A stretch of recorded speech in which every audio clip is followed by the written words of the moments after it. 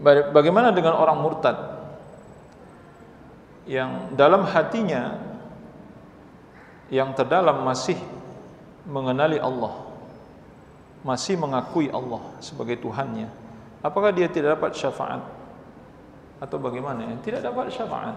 Jadi dengan murtadnya dia dari dari Islam, sekalipun di dalam hatinya sebenarnya masih ada pengakuan, tapi dia sudah murtad dari Islam.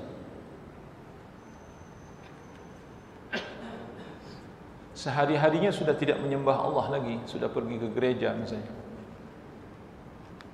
Sudah berubah keyakinannya, aksesorisnya sudah berbeda, kebiasaannya berbeda, apa yang disebut sehari-hari berbeda.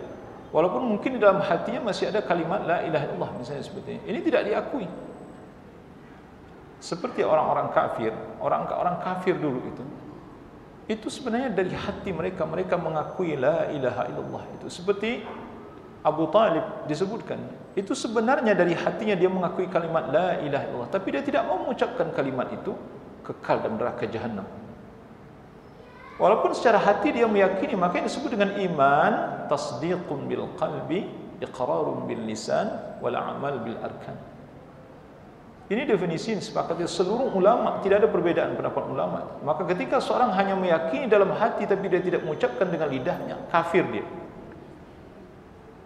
Atau sebaliknya hanya mengucapkan dengan lidah tapi dia tidak meyakini dengan hatinya, kafir dia. Makanya ketiga komponen ini harus berhimpun. Baru disebut nanti iman. Kalau ini tidak ada, maka tidak bisa disebut dia beriman. Apalagi kalau dia menyatakan diri sudah keluar dari Islam. Saya murtad dari Islam misalnya. Ada seorang mengatakan kalimat ini, maka kekal dalam neraka jahanam. Selama dia tidak mencabut pernyataan itu dan bertobat kepada Allah Subhanahu wa taala dan beramal seperti amal Islam, maka tidak bisa disebut sebagai seorang muslim. Walaupun pengakuan dalam hati masih ada tentang Allah Subhanahu wa taala itu. Allahu a'lam bissawab.